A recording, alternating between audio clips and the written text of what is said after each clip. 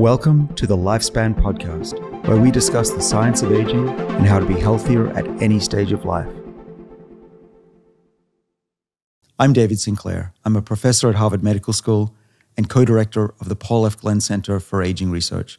And I'm joined today by my lovely co author and co host, Matthew LaPlante. Hey, Hey, how are we doing?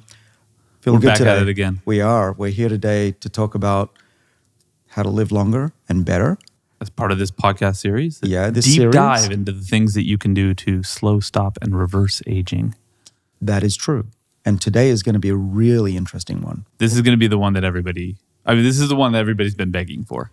That is true. We've been monitoring the responses to tweets and Instagram posts, and most of them are David, just tell us what to take. The nice ones. Yeah. Some of those aren't very nice either, but yeah. People, please, please, please. Should I take NR? Should I take NMN? What should I do with metformin? We're going to be talking about all of that today. We are. Uh, and our, our research team has been spending weeks on this. And if you can't see, I'm actually sitting in front of many pages of notes here. We're going to go deep dive into what is fact and what is not fact, what is known, what is not known, because there's so much misinformation out there, especially with supplements. Yeah. Um, we do need to say we usually take a moment to thank our sponsors. We're going to do that, of course, but we also have to take a moment to say we are not medical doctors. We are not medical doctors. We are not medical doctors. what he said. Uh, I'm a PhD. I'm a researcher. I can read the literature. I've been doing it for the last 30 years. I distill that for everybody.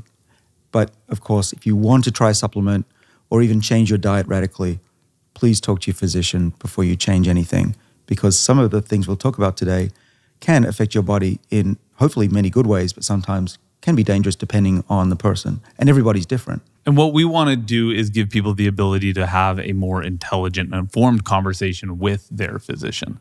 Exactly. Okay, with that out of the way, now we should thank our sponsors. Let's do that because this podcast is free to any, anybody who wants to watch or listen. Our first sponsor is Levels.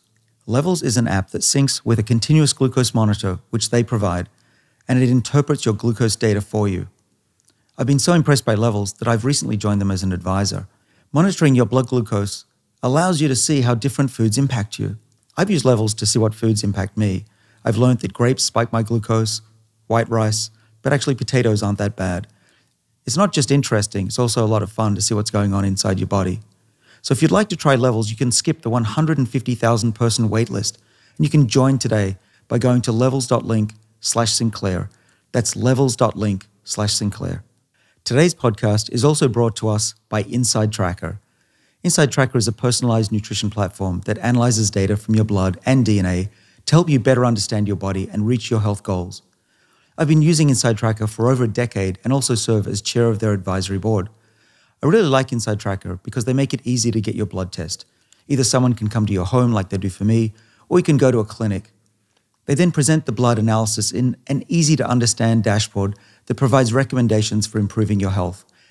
Their InnerAge 2.0 test, which I helped develop using an AI algorithm, even shows your biological age. If you'd like to try Inside Tracker, you should go visit them at insidetracker.com slash Sinclair and you'll get 25% off every Inside Tracker plan. Use Sinclair as the code at the checkout. Today's episode is also brought to us by Athletic Greens, the all-in-one daily drink to support better health and peak performance. Athletic Greens is a greens powder developed from a complex blend of 75 vitamins, minerals, and whole food sourced ingredients. It's filled with adaptogens for recovery, probiotics, and digestive enzymes for gut health, as well as vitamin C and zinc citrate for immune support. I've been drinking athletic greens in the morning for many years, and I do that because I don't often eat perfectly and I travel a lot, and I can rest assured that I'm getting all the nutrients I need for optimal health. So if you'd like to try Athletic Greens, you can go to athleticgreens.com slash Sinclair to claim a special offer.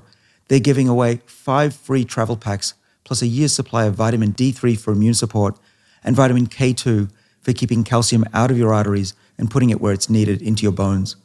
Again, go to athleticgreens.com slash Sinclair to claim this special offer. Okay, Matt, let's dive in. There's a lot to get through today, and I know everyone's waiting to hear what we have to say today. Uh, in the last episode, David, we talked about adversity mimetics. These are the things that we can do in our modern lives to mirror the sorts of stresses we faced across our evolutionary history. Um, but even if you're engaged in in doing these things, like we've talked about already, fasting, getting lots of exercise, um, getting out of your comfort zone, uh, our modern lives are still designed around comfort and sedentariness. Sedentary, that a word? Sedentary lifestyles. sedentary lifestyles. And that's not to mention the fact that even before modern times, we aged, right? So if we're going to combat aging, we may need an additional boost. You believe we may need an additional boost? Well, I do. Uh, and I've been doing this uh, since my early 30s. We'll talk about my program at the end of this episode. But really, what we want to do today is to talk about some of the major supplements and medicines that are thought and have the greatest scientific evidence to be able to give you wellness now as well as long term health in the future. Supplements and medicines, drugs and supplements, molecules and drugs. There's a lot of different terms that we're probably going to throw around, and we're going to use them fairly synonymously. But in fairness, let's let's define drug versus supplement at least. Right. Well, first of all, most drugs are chemicals, okay? But some are naturally occurring and some are freely available over the counter OTC. And that's because they've been in our food supply before and the FDA doesn't regulate them. They fall under what's called generally recognized as safe or GRAS. And that's why you can you can pick up a whole variety of molecules from the plant world because they're already in our food supply. Therefore the government thinks, well, they're probably okay, even if they're a thousand times more concentrated than what you're eating. Uh, but Which, which may or may not be the case. Right, Yeah. right. And uh, so that's why you always have to be careful. You have to monitor yourself, like I have been with my blood work for many years, to make sure that you're not hurting parts of your body. Your liver, particularly, could be sensitive to some of these molecules, even if they are available freely at the pharmacy or the vitamin shop. Uh, different story about drugs. Drugs are regulated molecules because they have the the chance to actually cause damage. And many drugs actually do have serious side effects that need to be carefully monitored and discussed with a doctor. Even those that are very safe, like we'll talk about metformin, these are regulated by the government because they are not in the food supply. They are artificial molecules that could theoretically do damage. And there are literally thousands of drugs and supplements that someone somewhere will tell you will help you with health spans and long sp- li- lifespans. We're not going to talk about thousands of drugs and supplements today. No, maybe in future episodes we'll come back, but we want to hit the high points today. And so that's why today we're going to move through some of the most popular and some of the most promising. These are things that most people can have access to or find a physician uh, who, uh, if the need exists, will prescribe. Right. And I get emails and I get all sorts of texts every day, DMs. What should I take? What about this? What about that? What's the dose? When should I take it? What should I take it with? Is it okay to take this drug with exercise or not? That's what we're going to cover today. Your most pressing questions answered here today. And so we're going to talk about NAD boosters. We're going to talk about metformin, berberine, rapamycin, spermidine, resveratrol, fisetin, and quercetin, and probably a few others. Um, but those are sort of the, the highlight points. Um, if you're only interested in in one of these, or if you watch this whole episode and need a reminder, the show notes are going to be timestamped, so you can immediately go to berberine and find it and click on it. That's right. Included in the show notes are the scientific references that we now have in front of us that we're going to talk about so that people can do a deep dive, even deeper than what we're going to do here today.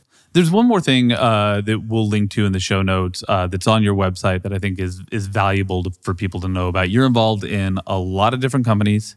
Uh, you're an entrepreneur. You're a researcher. You have I don't know how many patents.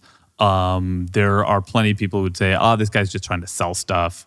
Um, if they suspect that you might have a conflict of interest, they can go and look at your disclosures. Uh, I do disclose everything that I do. Uh, my lab has a website. You can Google Sinclair Lab. And if you click through my bio, there's a link to all the work that I do outside of Harvard, as well as what we do at Harvard, of course. Uh, but importantly, I've never sold any supplement in my lifetime. And that's not because you're a bad salesman, it's because you haven't actually tried to sell. I mean, there's a difference between having not sold a supplement and having tried to sell a supplement and not sold a supplement. Right. I've actively kept myself away from the supplement industry because I want to be able to talk about things without any bias.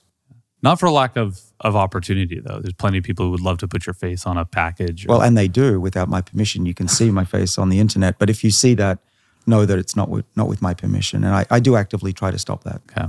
To get into this, let's use some of the same framing that we've used for the other conversation, and that's these three longevity pathways, uh, three longevity genes that we've been talking about: sirtuins, AMPK, and mTOR. Different drugs and supplements are thought to work on these different pathways in different ways, and we'll sort of like categorize them in those three buckets today. Exactly. And the thing to also remember is that these three survival pathways that we've talked about, um, and we, in episode one, we talked a lot about, are responding to our environment. Whether you're exercising or fasting, they'll, they'll turn on, but also appreciate that they talk to each other. And some drugs or supplements will activate one of these and talk to the other two. So it's, an, it's a network. And we're still trying to figure out exactly what the optimal combination for each individual might be, whether to tweak it with this molecule and then exercise here and then fast that day.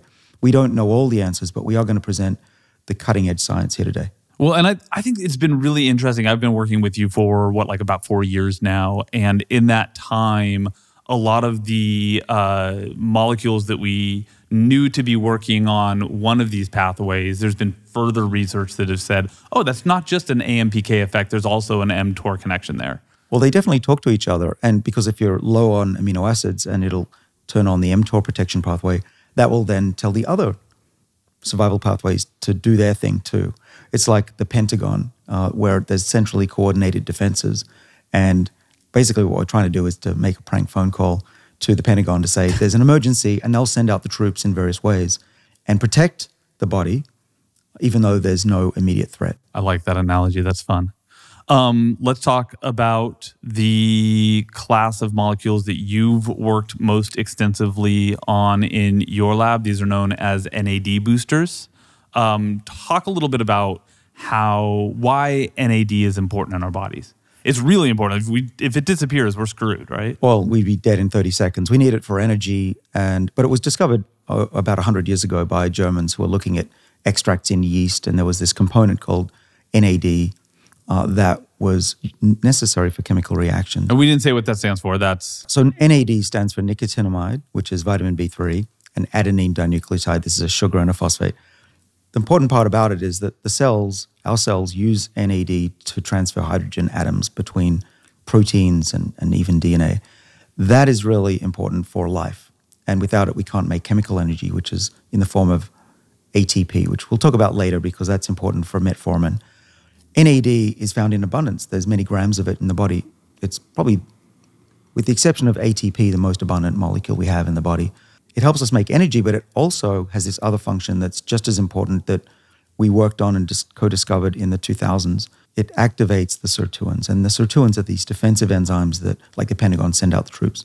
The problem is, as we get older, we make less NAD, and we also destroy it more for reasons that we don't fully understand. But it leads to a decline in our ability to fight off aging and the diseases that it causes. And this is because NAD is a sensor for adversity. It is. If you exercise, it's known, uh, and fast, it's known to raise NAD levels.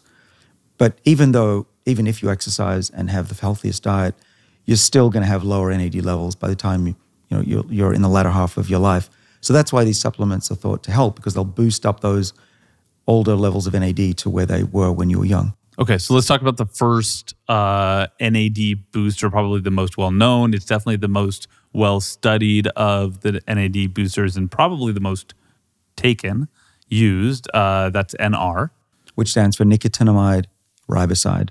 So that's the vitamin B3 plus the sugar without the N part, which is a phosphate. Um, we'll get to the phosphate. That's important later. It may make a difference. But NR has been taken uh, over the counter or through websites for what since 2014, uh, either solely uh, just as a capsule, or there's some companies that sell it in combination with other molecules. And because it's been pretty well studied in humans, there's been plenty of human studies, um, at least in the short term, that show uh, little to no side effects. This is a, a, pretty safe molecule. That's for sure. And we, we know that if you take it uh, as a supplement, just swallow the pill, uh, either 250 milligrams per day or a gram. There's no apparent negative side effects. Uh, and in fact, you will raise NAD levels in blood tests. So it, I think this is an important distinction to make, though. Like, there's a difference between safe and effective, right? Just because we say something is safe doesn't mean it's going to work in a And in fact, sometimes things that are the most safe aren't going to work at all. That's why they're so safe is they don't have any effect. Um, but we do know that NR is largely safe. You know, millions of people around the world take it. Um, NR has been well studied in animals as well. And let's start with that because we actually know more about what NR does in the bodies of animals than we do in the bodies of humans. Well, let's start with yeast. Go even further back. Okay, yeah. So that's where it was first discovered. Um, NR was a new, newly discovered molecule back in the early 2000s. It's found a little bit in, in milk and other foodstuffs. And if it was fed to yeast, they lived longer by turning on the yeast sirtuin pathway. Okay, how much longer were the yeast living? Uh, generally, yeast live about 30% longer when you give them these molecules, uh, similar to caloric restriction. And that's what this was doing, mimicking caloric restriction, because both activate the sirtuins and give increased genome stability and epigenome stability that lengthens their life. And those kinds of findings make you really interested because you're really interested in the sirtuin activation. Um, and so you've been part of a group of scientists that have been looking at this. Yeah, one of the first things that we discovered, this is now, we're talking 2002, 2003 in my lab, was that there's an NAD synthesis gene called PNC1. In our body, it's called NAMPT, and it gets activated by these mild stresses. In a yeast cell, it's low salt, it's low sugar, heat, and that turns on the synthesis of NAD. And we found that extended lifespan. And then a few years later, it was shown that you can mimic this effect with this NR. How does NR turn into NAD? So NR has to go through an intermediate molecule. Let, let's start with the mouth. You swallow your NR, it'll go into the gut. Some of it will be metabolized by the, the gut bacteria, uh, but it will most of it will go into the bloodstream and then flow around and then get taken up into your muscle and to your brain and other cells that uh, by transporters called ENTs. And there it's converted into NMN by what are called NRKs. And then you add the phosphate and you've got this thing NMN. What's NMN? Nicotinamide mononucleotide. And then the cell puts two of those together to make NAD. And when we do this in laboratory animals, uh, you mentioned in yeast, it extends life by 30%. What have we seen in mice, which are a little closer to you and I than your yeast is? Yeah, it's going back a number of years ago. It was found that NR, when given to mice, extends their lifespan by about 9%, but it was given to them late in life uh, at about 700 days, which is a pretty old mouse. This has been like a 70 year old human, but it still worked. But there were also in- improvements in health. They had more mitochondria, which is the energy, they had more uh, athleticism, less uh, inflammation. And so that was the first real study that said, okay, maybe supplementing with these molecules like NR or NMN might have some long term health benefits as well in humans. Among the other uh, health benefits that uh, have been seen by researchers who have given NR to uh, animals in the lab, um, enhanced oxidative metabolism. Let's right, talk. So they burn that. more fat. Yeah, they get thinner, and that also means that they're burning more oxygen, and that's thought to be really good at staving off diabetes, type 2 diabetes, as well as improving lifespan. Let's carry this now into the human studies because what we don't have for reasons that maybe are obvious, but I'm going to state anyway, which is that humans live a very long life and it's really hard to put humans into a control group and a test group across a very long time, then control for every variable that's possible, is longitudinal studies that show increases in lifespan as a result of taking NR. But we do have studies that have sought to show similar health benefits to what we've seen in rodents. Somewhat, I would say, NR, there have been a few positive results, not a lot. Um, before we get to that, I, I think it's worth talking about why can't we just take vitamin B3, which is a precursor to NR? And uh, you can, but it doesn't raise NAD levels anywhere near the level that NR does. Um, and NR doesn't seem to be as effective as NMN. So the closer you get to NAD with your molecule, the better it seems. And that's probably because you need to bring in other components. So if you just take vitamin B3, you need a sugar and the phosphate. If you just take NR, you need the phosphate. And phosphate is pretty rare in the body. It's in your bones, it's in your DNA. And maybe when you take NR, one of the issues is that you need to find the phosphate to add on there before it becomes active. Okay, back to the human studies on NR. Um, we have sought to see, by we, I mean the research community, I don't mean necessarily you and me. Uh, we've sought to see the same sorts of uh, effects that have been seen in model uh, organism studies. Um, sometimes that's happened, sometimes it is not. Is that fair to say? That's very fair to say. With NR, there have been a handful of studies in humans showing that low dose, 250 milligrams per day, up to a, a pretty large dose, a gram a day, does raise NAD levels. Um, but it takes about nine to 10 days to get to those peak levels. What we've also seen is, or others have seen, is lower inflammation, as well as some other markers such as minor changes in body composition. But these other things, which are lower blood sugar, uh, improvements in insulin sensitivity, increased mitochondria, those haven't been borne out just yet in these short term studies with NR. It's not these say, are, sorry, these are the things that were present in the mice who also lived longer. Right. Yeah. yeah. Now, it could be that you need a longer term exposure of these people. These have been fairly short term studies. Mm-hmm. Um, or that humans are not the same as mice. So, would you say, I mean, if, if somebody said, tells you, oh, David, I've been taking NR for so many times, you're not rolling your eyes, but you're not convinced at this point. The, the jury's still out. Well, it depends what you're asking. If it's to lower inflammation, yeah, it, it probably works. There's also a study that uh, was put out by a group that combined NR with pterostilbene, which is a resveratrol like molecule. We'll talk about resveratrol next. That found that in ALS patients, Lou Gehrig's disease, there was an improvement in their function, daily function. So that that is somewhat promising. I think that we, of course, we need more studies. That's what we really need here to be able to make any sort of conclusion about what the long-term effects of taking this supplement are.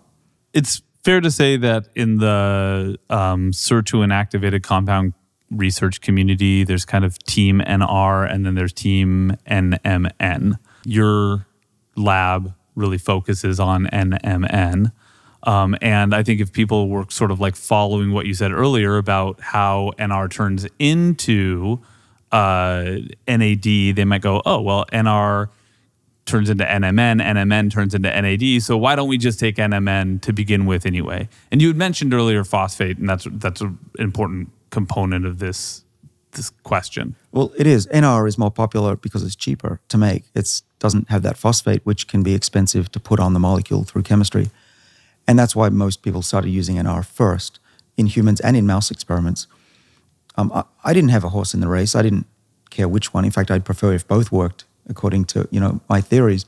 But it, what we found through empirical studies, basically, we're looking at which ones work better. My lab and others, uh, including Matt Kaeberlein, who's at WashU, who treated a mitochondrial disorder, and we were treating regular mice on treadmills. We found that NMN just worked better at the same dose. We don't actually understand why. It could be that this phosphate addition is one of the reasons. But you know, just based on observations in our hands and in others, NMN works better than NR. When we supplement with NMN, when when NMN is uh, given to organisms in the lab, what's happening? Well, it's a little different. There's been an argument in the literature that NMN doesn't get into cells. Um, and similarly, NAD is really a big molecule because it's got multiple components. And that also has a, a real struggle to get it into cells. Neurons take it up, but other cells typically need to break it down into its various components and then reuptake it. And that's important because some people actually are giving themselves NAD through the IV route. When it comes to NMN, what happens is it was recently discovered by Shin Imai at WashU. His team discovered that there's a specific transporter that takes NMN out of the, the liquid outside the cells inside the cell, and its name is SLC12A8. Still debated, a lot of things to figure out, but I think it's just best to say, okay, we know what's happening when you give it to animals. We're starting to learn what happens to people. We, of course, want to understand how it's working, but the fact that it does work is the most important point. So, when it comes to NMN, there's been a number of animal studies um, showing, uh, for instance, similar to NR, restores NAD levels, it enhances insulin sensitivity. Um, one of the things that was surprising to me is that we don't have a study that shows NMN's effect across the mouse's entire lifespan yet. Yeah. Well, we have half a lifespan. Shin I showed that it actually was pretty good at, at slowing down the effects of aging, but he stopped the experiment because he ran out of NMN. It used to be rare stuff. Now you can buy it. But uh, we took up the challenge, and we've been doing these studies for the last few years in my lab. Now, preliminarily, these mice have less frailty. We've reported that out in the uh, scientific community. Uh, they seem to be younger having better activity, better mitochondrial function. They run further.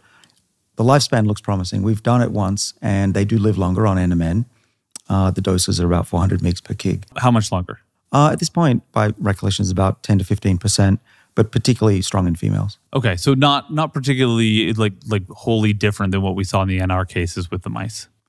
Uh, right, a little bit better than that, uh, but certainly the those mice are healthier and more active and are more youthful. And you said it's more pronounced in the females, or at least according to this the the first phase of this, it's more more pronounced in the females. Right. Well, we had fewer females, so we have to repeat that. So we've now got a larger cohort of mice. We're repeating the whole thing. We'll see how it goes. But right now, with the small number of females, yeah, they did do better than the and, men. And what, even though mice live pretty short lives, what we have to understand here is that they still live two, three years on average, right? And so, in order to see lifespan extension, especially if they live much longer, it takes some time to do these studies. Uh, yeah, it's it's quite painful actually because you think about this: an average experiment takes three years, uh, and then you have to repeat it. So that's now six years. Then to analyze the data and publish it is another three or four.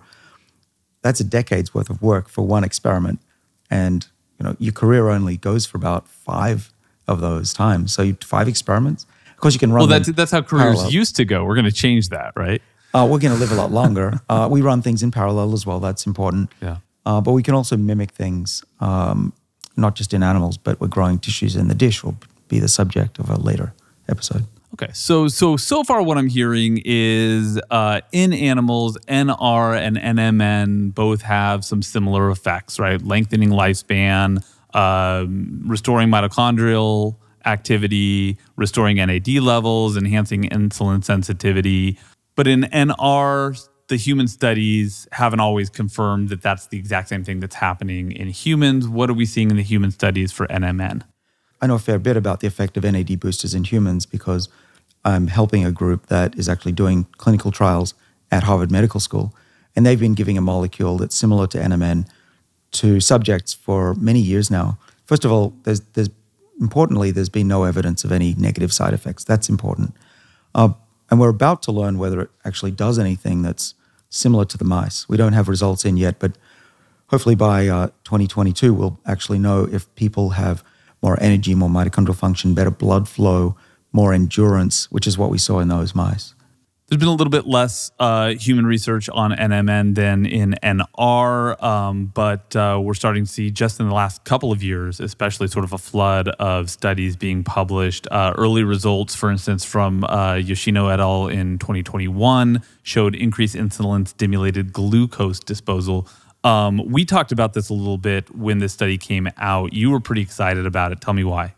Uh, it's one of the first real proofs that NMN does something in humans the way it works in mice. So this was a 10 week study. It's it's well done. It's randomized, placebo controlled. It was 250 milligrams, which is a relatively low dose. Remember, I, am taking and my clinical trials are a gram and two grams. This is 250 milligrams. But nevertheless, it improved what you said, insulin stimulated glucose disposal. That's basically insulin sensitivity. And that's a hallmark of longevity. Keeping the glucose out of the bloodstream, keeping it low levels, is a hallmark of wellness and ultimately longer life. So that's the beginning, but we have a lot more to figure out. We need to figure out if that increased endurance that we see in my lab with NMN treated mice is true for humans. Uh, we also want to know are organs protected? Other labs, not mine, but other labs have shown that NMN protects the organs when they're damaged, kidney and heart, the two main ones, uh, even increased wound healing. We'd, I'd love to know if NMN does that in humans. That'd be a big deal. Kidney injury is, is huge. And particularly, I don't know if you know this, but most surgeries on the heart end up damaging the kidneys, and there's not much you can do about it. So ultimately, we've seen a glimpse with Yoshino et al. Uh, my studies that I'm involved with at Harvard Medical School are looking promising. We'll know more next year. Uh, but yeah, there's a lot more in the in the works, and there are other NAD boosting molecules that have been made that are even better than NMN, so-called NCEs, called uh, new chemical entities. And those, I'm aware, uh, probably in the next year will go into the first human studies. And that's a, I mean, that can be in a whole episode of this podcast in and of itself. Yeah. We should do it. Yeah. Okay. Why don't we just give NAD directly? We talk about like NAD boosters. NR boost, uh, NR creates NMN, NMN creates NAD that boosts, boosts NAD, or NMN boosts NAD, but it all gets us to NAD. So why don't we just, you know, set up the drip line and, and get it going? Well, we don't, but others do. Uh, there's a lot of activity going on in Florida and LA, particularly, of having uh, large drips, long drips of over an hour of NAD. These um, are up to a not these are not in uh, study settings. This is not in a research setting. This are like people trying this out. Well, they're done under medical supervision, Uh huh. uh, but I haven't yet seen a placebo-controlled trial that would tell us for sure if it's just wishful thinking or not. I don't think so, given how many people have been now treated, and there's a, a serious amount of anecdotal uh, data on this: better mood, better energy. But you know, you cannot conclude anything unless you actually have one of these placebo-controlled trials. Um, I'd love to be involved if anybody's going to do one. I'd love to help, but I'm asked this probably every day: NAD IVs, do they work? And my answer to, has to be, we don't know yet. What do we think they might be? I mean, what are people trying them for?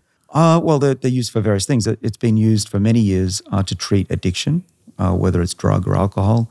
Uh, it's also used for depression um, and also increasingly for hangovers. Is it as good as the Australian hangover cure that you've given me a few times? Or the uh, the raw egg and the Vegemite. Yeah. Uh, I, I- I hope it's better than that. Uh, but the idea Because the truth is that doesn't work. I just pretend it works because it makes you happy. That's true. And you're one of the few people that eats my Vegemite. But the, the reason that it probably works is there's an enzyme that detoxifies alcohol called alcohol dehydrogenase. And a lot of Asians are susceptible to high levels of alcohol because they lack a lot of this enzyme. Alcohol dehydrogenase needs NAD.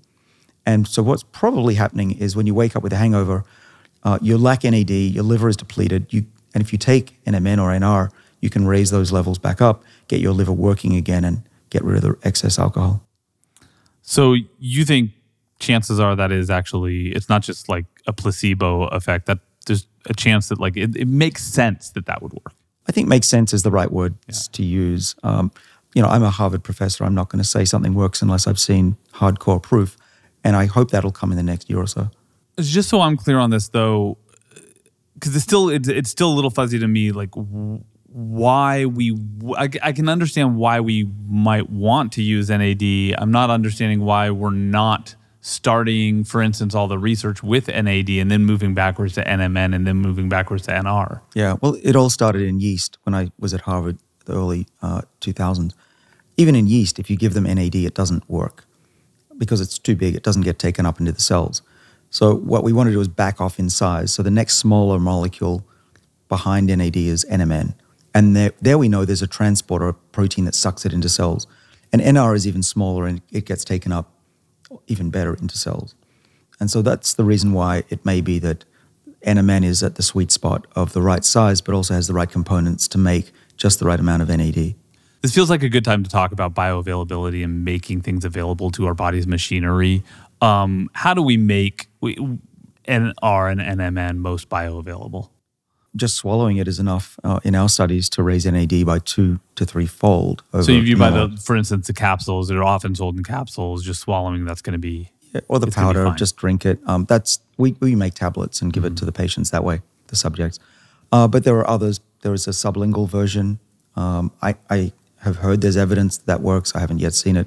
Uh, it doesn't it makes sense that it would be absorbed under the tongue, um, or you can inject it. But the, in terms of the research right now, it doesn't seem like there's a huge advantage one way or another. No, I haven't seen any reason for saying that you need to put it under your tongue versus swallow it.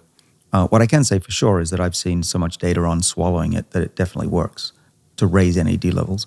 There has been some concern uh, around the use of NAD boosters when it comes to the potential that it might stimulate cancer growth. And obviously, that's something that we don't want to be dismissive of. It does you no good to be boosting your NADs and extending your lifespan if you're just giving yourself cancer. What's the latest research on that, and how concerned should people be?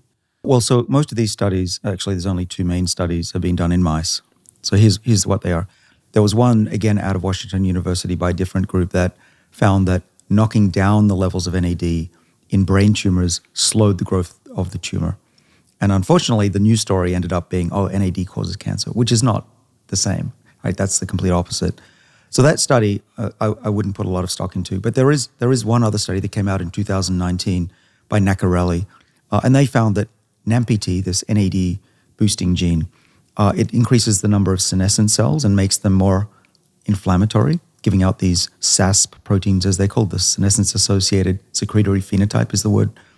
Uh, but also, there were mice that were predisposed to pancreatic cancer. And when given NMN, they developed more precancerous and cancerous growths when they consumed this NMN. Exactly how it works, we're not sure, but it might be because it was downregulating a tumor suppressor gene called P53. And this was a subgroup of mice that were already predisposed. They had a gene that made them more likely to get cancer. Right. But remember, we fed NMN to mice, the normal mice, not predisposed.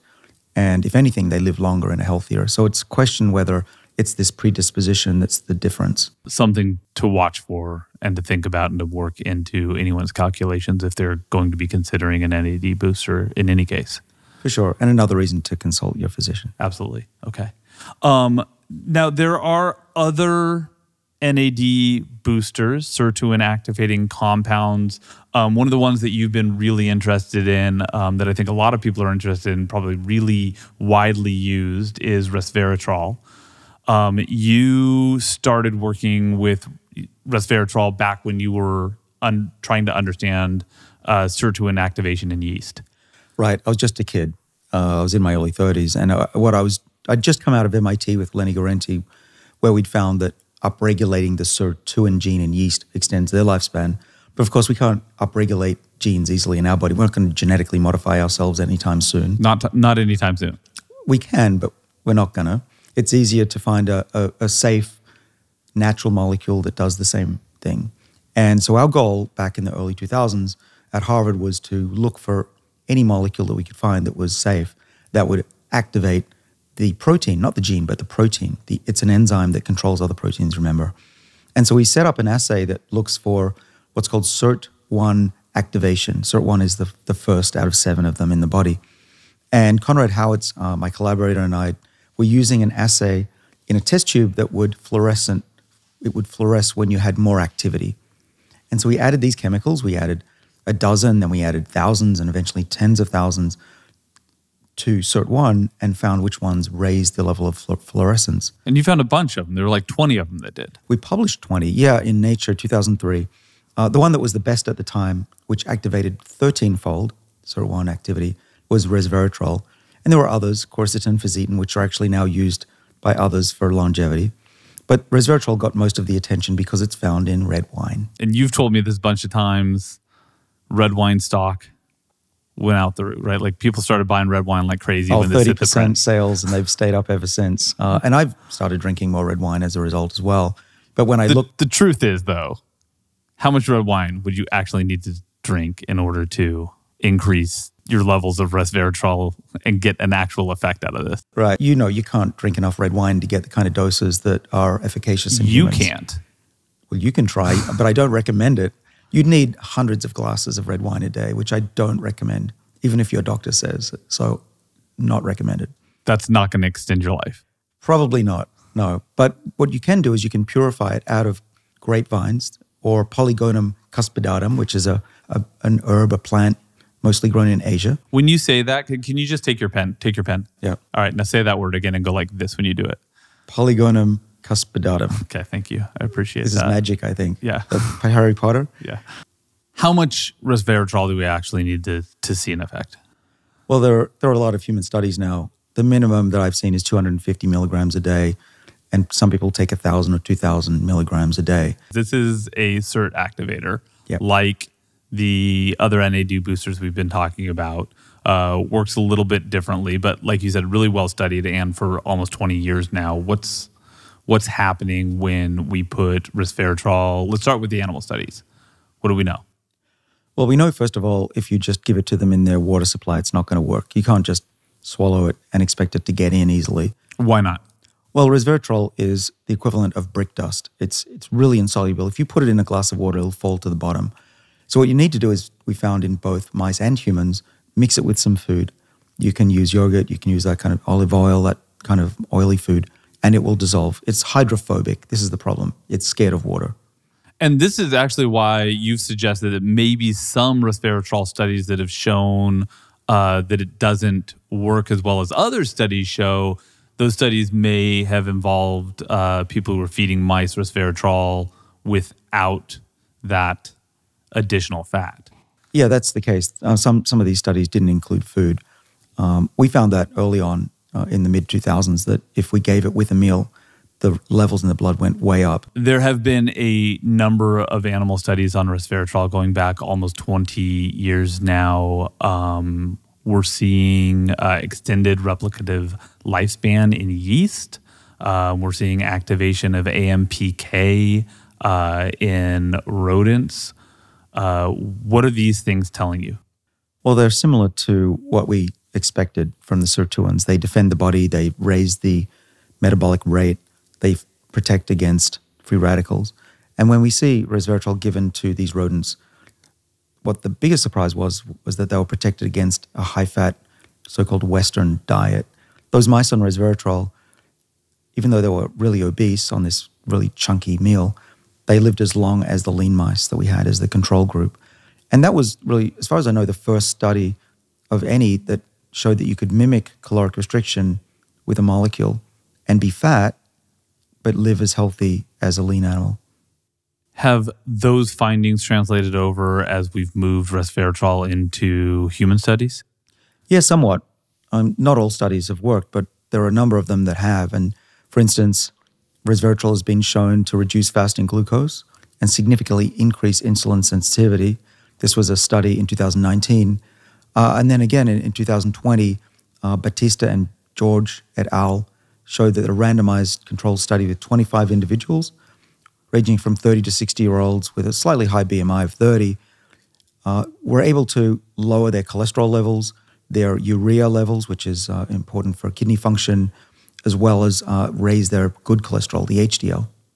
But once again, we don't know long term what this is going to do, but the trajectory seems good when we consider it in the context of what we've seen in animals and what we are seeing in these early human studies. Yeah, I think so. Even before I worked on resveratrol, it was known to be an, an agent that suppressed cancer. If you put a carcinogen on the skin of mice and then rub resveratrol on it, uh, 1999 science paper showed that those cancers are much smaller in those treated mice. So the anti cancer activity of resveratrol has been known before I came along. Uh, and since then, we've seen effects on uh, body composition, on metabolic rate, mitochondrial boosting, glucose levels. Um, the list goes on. There's, there's probably a thousand papers now showing at least the benefits in animals and a dozen in humans. Cardiovascular disease, I haven't mentioned, but that's a big one. Um, may help explain the French paradox. The French can eat high fat foods, and with this glass or two of red wine every day, it, it helps mitigate the effects. Does is that I mean like but you've just said like you actually have to drink so much red wine in order to get this effect. But then we're thinking maybe the French who don't drink that much red wine, even though they do drink a lot of red wine, but they don't drink that much red wine. I'm there's two considerations yeah. here. One is that drinking red wine over 30 years could have a cumulative effect mm. and it builds up mm-hmm. in the body. And the second is that red wine has more than resveratrol in it. It has some of these other xenohormetic polyphenols that we talked about in earlier episodes that could give a combination effect. Okay. There are two other molecules I wanted to mention. Uh, you mentioned them earlier, actually, by name. These were part of the group of molecules that were identified in those early experiments with yeast that uh, identified resveratrol as a potential sirtuin activating compound. Uh, these are fisetin and quercetin. And both, in addition to being sirtuin activators, potentially also seem to have this other property to them that is making them sort of like a hot number now. Right. They are what are called senolytic, kill senescent cells. And, senescent cells are zombie like cells, the ones that accumulate over time in your body, probably because their epigenome gets screwed up. But what they do is they shut down, they stop dividing, and they start secreting inflammatory factors and also factors that cause cancer. Yeah. And so getting rid of those would be a, presumably a good thing. And well, that's it, what fisetin and quercetin appear to do. They do uh, in the dish and in mice. Uh, and there are even some human studies now that show that killing off these senescent cells in the body can improve health and ultimately, we think, could extend lifespan. And these have been shown uh, in the case of uh, fisetin, at least, to extend lifespans in some model organisms. Like fruit flies? Yeah. Uh, and even in mice recently. I was particularly impressed by the, the mouse studies. Um, a couple of um, colleagues out at the University of Minnesota were able to show that fisetin put in either in the food of the mouse when it's young or even late in life after 700 days, which is like a 75 year old human, was able to extend lifespan quite dramatically, up to 30%, including improving their health.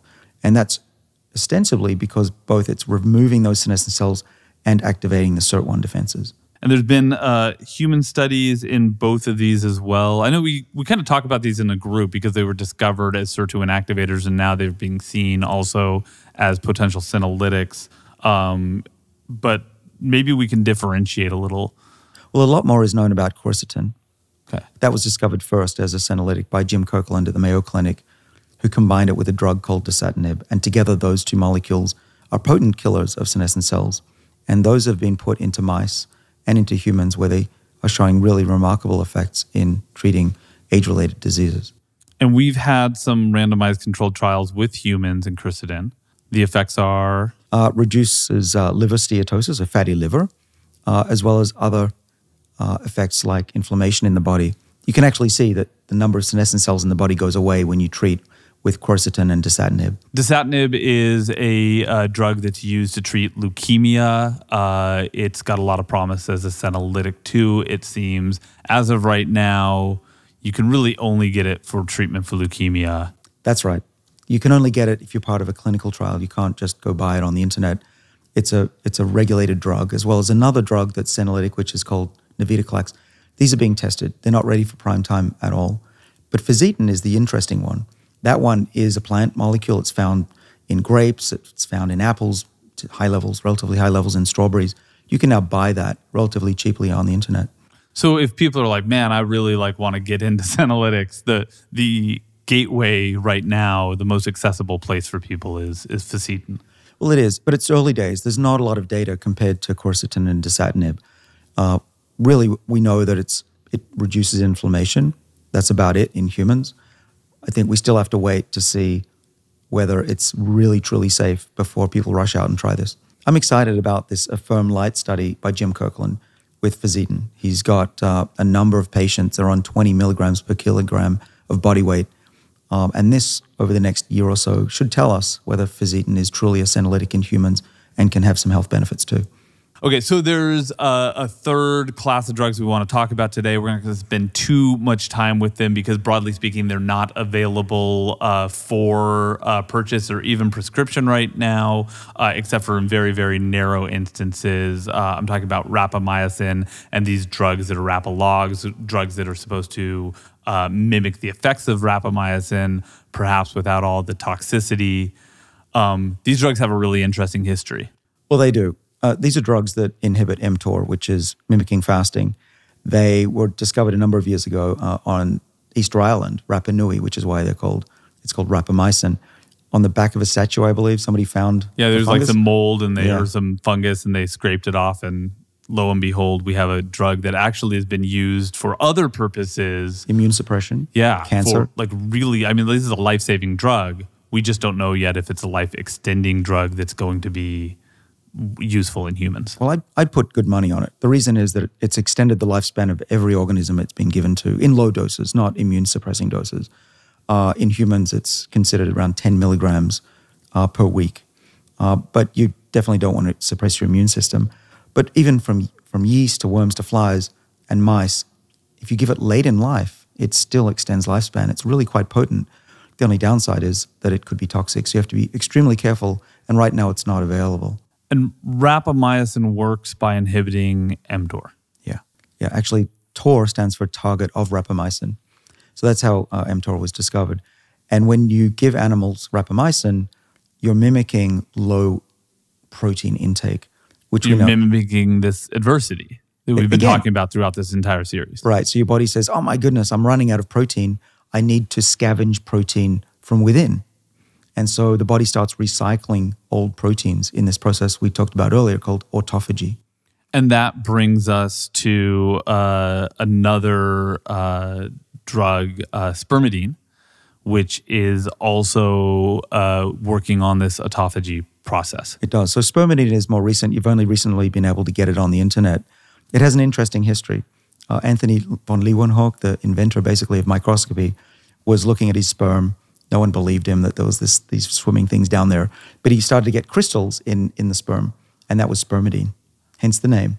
kids, if you want to get into science. um, and and what do we know about spermidine now? Because this is so this is a really old. I mean, this has got an old history, but like really new research that's showing potentially extensions of lifespan. Um, well, we know it extends lifespan in yeast and flies and worms and even mice. and mice. There's a new study that was really compelling. If you if you give spermidine to mice, either when they're young or even late in life, they live longer and they have better heart function and other youthful capacities. There are two ways that spermidine is known to work in mammalian cells. One is it stimulates autophagy, just like rapamycin does in the mTOR pathway. There's another really interesting property that seems to be true, which is it also stabilizes changes to the epigenome, which, as you know, is one of the major causes of aging. There have been a number of human studies on spermidine, uh, particularly revolving around uh, enhancing memory and dealing with memory loss in older Americans. That's true. We don't know a lot about aging itself, but cognition has greatly improved in a number of studies. The one that stands out for me is the one by Schwarz et al., 2018. They were giving people 1.2 grams per day over three months, and there was significant enhancement of memory. I wanted to go back to the history of this stuff. You mentioned earlier that Antony von Leeuwenhoek discovered the crystalline structures that led us to spermidine uh, by examining his own sperm, presumably his own sperm in a microscope. Is that still where we're getting sperm, Adine? Uh, no, not that I know of. Where are we getting it from? Oh, we get, we're getting it from wheat germ. It's a lot easier. It's much more abundant. You can also find it in soy products. that makes me feel better about it. All right, we've talked about uh, sirtuin activators. We've talked about uh, mTOR inhibitors, um, but really one of the most exciting classes of drugs is also sort of actually kind of the most boring because it's been around for so very long. Um, an AMPK activator called metformin, which hundreds of millions of people around the world already take for diabetes. Yeah, it was. A, it's been used since the 1950s as the frontline medicine to bring down glucose levels in type 2 diabetics, and it, it's relatively safe as a drug goes. In half the world, it's available over the counter at pharmacies. Here in the U.S. and uh, in Europe and UK, Australia, you need a prescription. And we know that metformin works by activating AMPK. Do we know how that process kind of unveils itself? Well, there are a lot of theories, and it's been debated for over 50 years. Um, one thought is that the microbiome changes, but a leading school of thought that most scientists agree on is that it inactivates a protein complex called complex 1, which is involved in making energy in mitochondria. And what it does is it lowers the amount of energy that the cell has in the form of ATP, this chemical that we use for energy. And then you get mitohormesis, mitochondrial hormesis. What doesn't kill the cell makes it stronger. And the reaction is twofold. One is to make more mitochondria, so you get more energy a few days later. But also, by inhibiting mTOR, it'll improve what's called insulin signaling so that the blood sugar in, that's in your blood, and if you're a type 2 diabetic, it's too high, it gets sucked out of the bloodstream and utilized, which is why it's used to treat type 2 diabetes. And this is another one of those cases where um, there is uh, perceived adversity, and then not just one of these pathways, but multiple pathways in this case are impacted. Yeah, uh, similarly to, to all of these factors which are talking to each other, this is a good example. Metformin will lower energy, inhibit mTOR.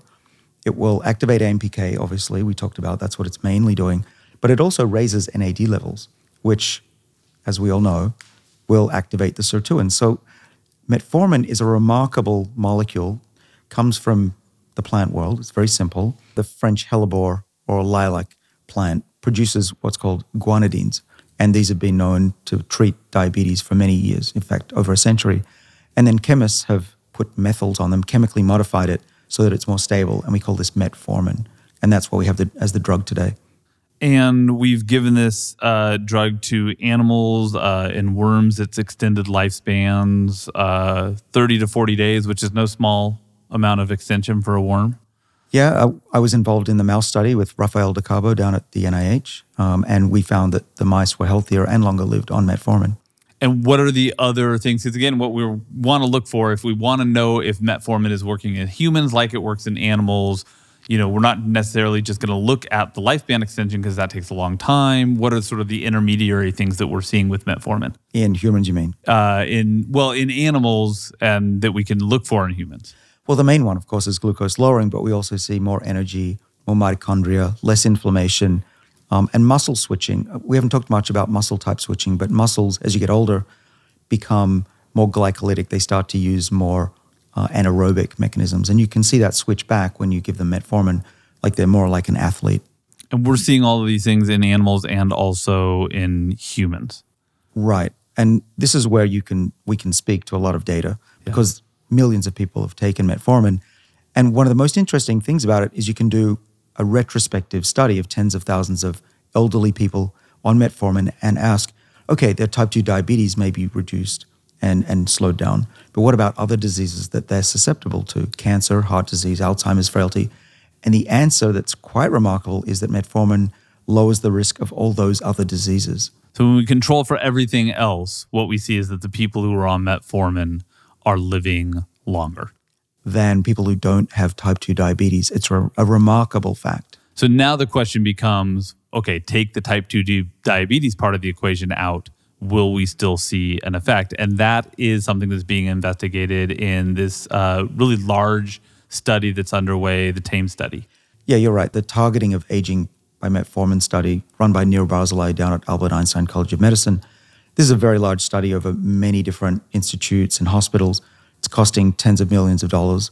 It's taking a while to raise that money, but ultimately the goal is to show to the American FDA that you can target aging with a drug and slow it down the ultimate goal being having aging a treatable medical condition. Why is it taking so long to raise money for this? Because this is really, I mean, everybody I know in the aging space is excited about this, and yet the money is hard to come by because. Well, this is where capitalism has a, little bit of a downside, which is that uh, metformin is, is very cheap. It costs a few cents and it's off patent. So, which means anybody can make it. There's no profit motive for yeah. making this drug right now. Right. So Nir has relied on the government and they've given half the money and the rest of the half he's relying on donors and he's still raising that money. But he's getting started. Fortunately, he's off to the races. And we should know in the next few years if he's seeing signs of slowing aging. And he's looking at a number of things, uh, not just diseases, but also things like uh, stability, uh, ability to walk, strength, these kind of things, mental acuity. These are things that would indicate that aging itself is being slowed down.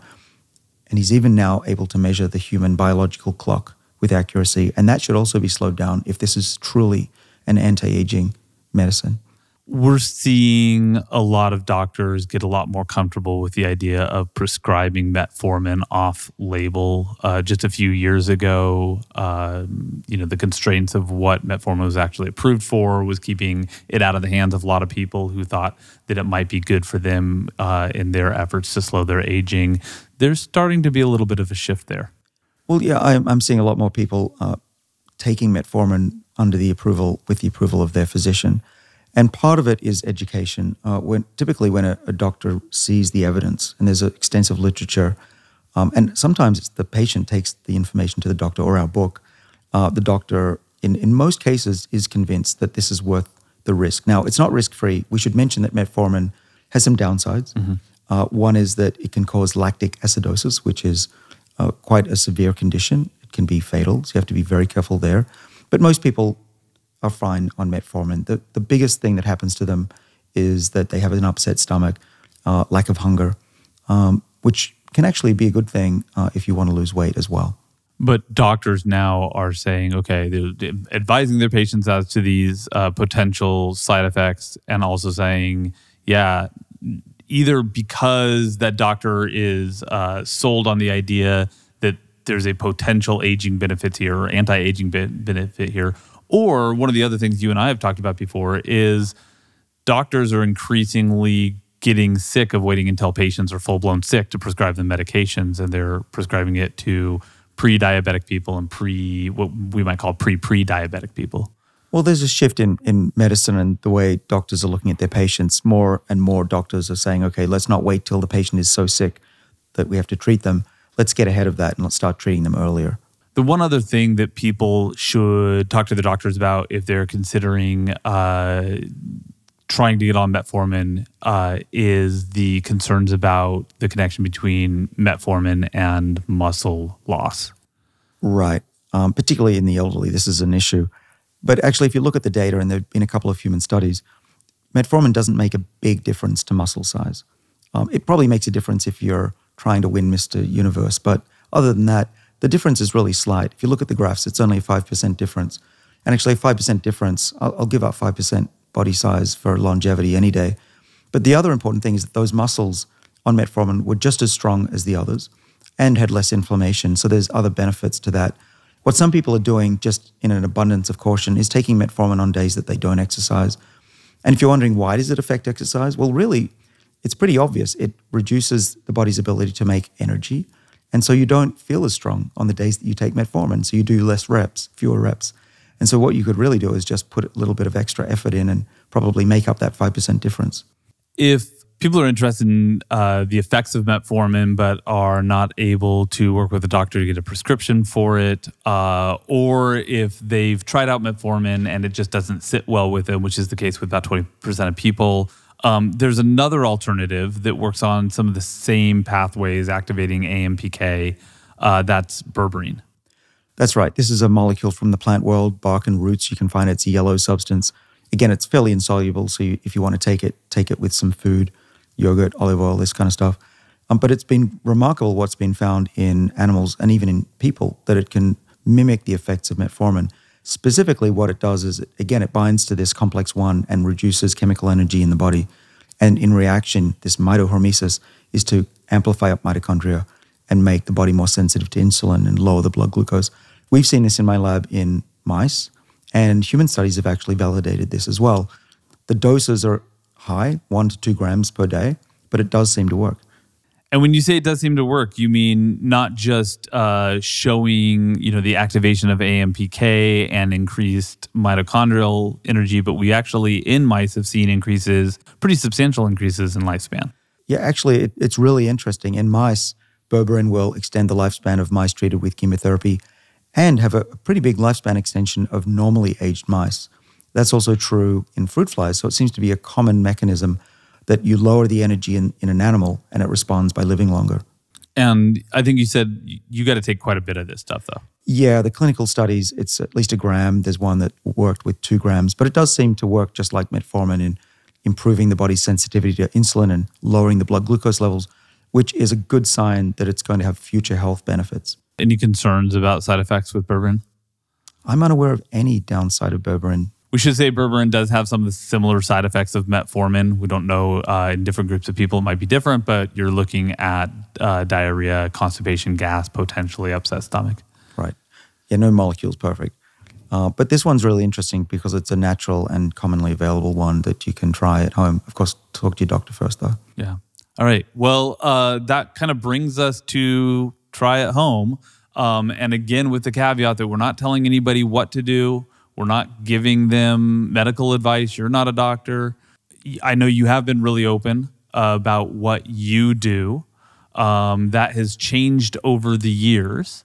But let's just sort of take it through um, the things that you started doing, you know, 20 years ago, 10 years ago, five years ago. We'll just start from sort of a chronology. Um, when you started investigating resveratrol, you also started taking resveratrol. Um, how, how, did you know how much to take though? Because you were giving resveratrol to yeast and eventually to mice. Well, it's not a one to one. It's not like you should take 3,000 times as much as the mouse had. because we're 3,000 times bigger than a mouse is. Right, yeah. right. It's not, it's not just proportional. It's actually more related to our surface area and how much the drug can get into our bodies versus the mouse. And the calculation for a mouse, which is called the allometric scaling, is about 12. So you multiply it, let's say if the mouse has 100 milligrams, 1.2 grams for a human. For a rat, it's three. For a mini pig, it's one to one. Turns out we have about the same surface area as, as a mini pig. And so you take about a gram of resveratrol every day? Uh, I do, and I've been taking that since about 2004. And uh, I, but I, but like I said, it's you can't just put it in water and drink you it. You got to add some fat to it. Yeah, so I, I, typically have some yogurt, a couple of spoonfuls, not a lot, because I'm trying to fast until dinner. Uh, but I could mix it with olive oil. Olive oil recently, as we mentioned earlier in a previous episode, um, seems to be really good for activating sirtuins, but also you can dissolve resveratrol in it.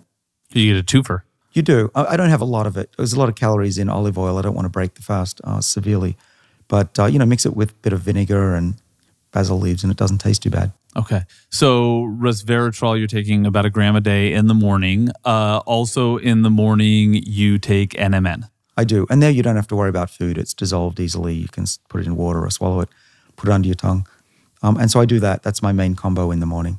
How much uh, NMN are you taking in the Um, morning? again, it's a gram, but that's not a guess. That's actually based on the human studies that we've done that show that a gram over 10 days raises your NAD levels about twofold. And that's sort of the dosing amount that we're seeing in a lot of the human studies now, both the past studies and and the current studies that are ongoing. I take one gram of NMN every every morning along with my resveratrol. The reason is in humans we know that that doubles NAD levels, which is important because someone my age has half the levels of NAD than I did when I was 20. But you can go as high as two grams and triple the amount. It's important to mention that I take these at a certain time of day based on science as well.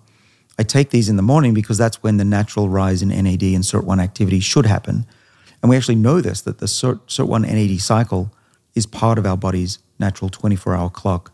SIRT1 regulates a protein called BMAL that controls the genes that tell us whether it's night or day, should we be hungry or not, whether we should have whether we have jet lag or not.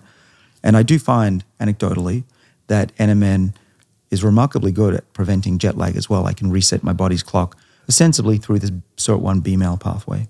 You're also taking metformin. Yes. How much? When? Uh, I take 800 milligrams at night. Okay. And you take that at night because Well, because doctors tell me that it's a good time to sim- simulate a fast. Um, I take it with my dinner just after, and then through the night, I'm presumably having low levels of glucose, and my body has all the benefits of stimulating those repair pathways, those survival genes. and that's the most recent thing that you've added to your regimen? It is. Actually, what happened was uh, I had terrible blood biochemistry. I was eating badly. I gained weight. I wasn't sleeping. I was stressed. And those numbers just went through the roof. And I said, I got to do something. So I went on NMN and things were somewhat rectified. And then I added metformin and they really got back to my optimal. We mentioned earlier uh, some concerns about uh, exercise and metformin. Uh, your practices where that's concerned? Yeah, I pulse metformin. It doesn't sit well in my stomach anyway. So on days where I know next day I'm going to exercise and lift weights, I might skip metformin that night before. Um, and then there's also uh, spermidine. There is. You can buy it now. It's um, there's a, a company that makes it in pure form, very low levels of gluten. And just the last few months, I've added that to my protocol, and we'll have to see how my numbers look on InsideTracker. Okay, so that's not that's not something you've adopted, and you're like, I'm definitely sticking with it. This is I'm adopted, and I'm testing it out to see how it works. I am, and I actually I advise that company. It's the Mm-hmm. first supplement company I, I am advising, and I did that because I wanted to look at the human clinical trials, and they they look really promising as well. How much of that are you taking? Uh, a gram as well. Okay. You are also periodically taking Fisetin Quercetin uh, aimed at uh, senescent cells. There are clinical trials being run out of the Mayo Clinic for Fisetin and for Quercetin. These are high doses. They're typically two grams taken one day a week for a matter of months. I'm myself, I'm on a maintenance dose. I take about half a gram of each uh, every day. Let's take this morning through night just really quickly. Resveratrol, one gram. In the morning with yogurt or olive oil, NMN as well. a gram, yep. Fisetin and Quercetin. Half a gram in the yogurt. Spermidine. Definitely spermidine, yeah, in the morning, about a gram. And then in the evenings, if you're not working out the next day, metformin, how much? 800 milligrams. Okay. That's it. That's it. Now, you're not most people. A lot of other people are going to be different. You don't advise people, but it might be a good place for people to start their conversation with their doctor, though. Yeah.